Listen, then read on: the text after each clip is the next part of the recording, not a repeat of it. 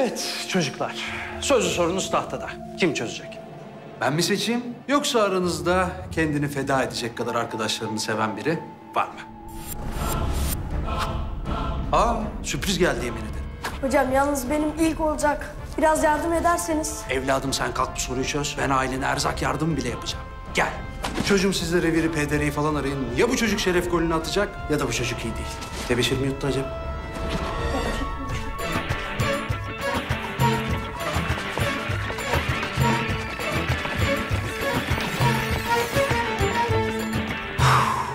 Evladım ne yapıyorsun lan sen? Tüm tuşlara basıp bölüm mü geçmeye çalışıyorsun? Ne yapıyorsun? Ulan oğlum sana diyorum bildiğin ne kadar formül varsa hepsini yazdın tahtaya. Matematik dersindeyiz lan. İguita. Hocam tutmayın beni. İyi gidiyorum. Nereye gidiyorsun oğlum? Potpourri yaptın lan. Biraz da müzik.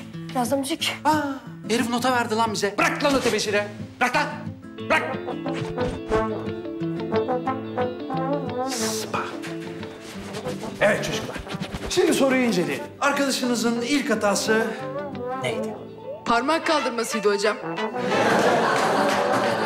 Lan ara ara bu çıkışlarınız olmasa. Yoksa sizden iyice ümidi keseceğim. Zeki çocuklar, zeki.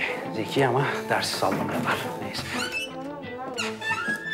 Hocam çok özür diliyorum. Bölüyorum. Sen beni ortadan ikiye bölüyorsun ya.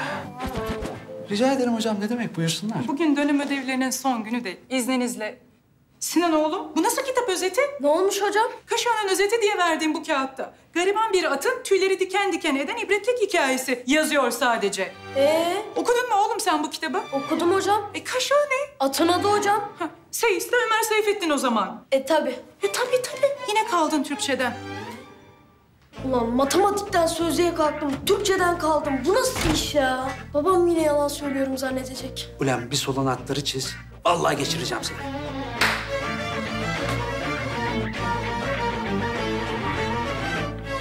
Herife son anahtarı dedik, adam İngiliz anahtarı çizdi. Geç lan yerine. Geç.